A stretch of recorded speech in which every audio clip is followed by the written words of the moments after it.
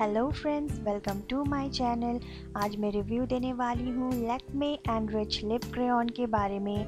2.2 ग्राम का प्रोडक्ट है इसमें और इसका शेड नेम यहाँ पे नीचे आपको लिखा हुआ मिल जाएगा।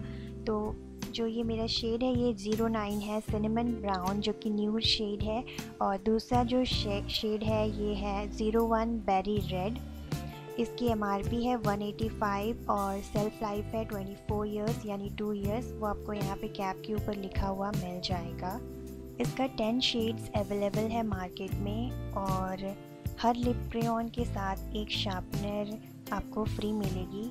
अगर फ्री आ, मिलना बंद हो गया होगा तो आपको ये अलग से शार्पनर ख़रीदना पड़ेगा जो कि 50-60 रुपीज़ में आपको आराम से मिल जाएगा। और ये जो लिप क्रेन का टिप है, ये हर यूज़ के बाद ब्लंट हो जाता है। तो आपको अगर शार्प टिप चाहिए तो आपको हर बार इसे शार्प करना पड़ेगा, जिसके वजह से बहुत ही ज़्यादा प्रोडक्ट का वेस्टेज होता है। ये जो लिप क्रेन है, ये स्मूथली ग्लाइड हो जाता है और इसका पिगमेंटेशन भी अच्छा है।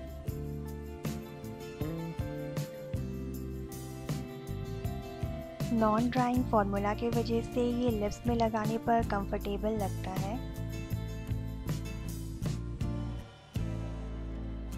ये ट्रांसफ़र प्रूफ नहीं है।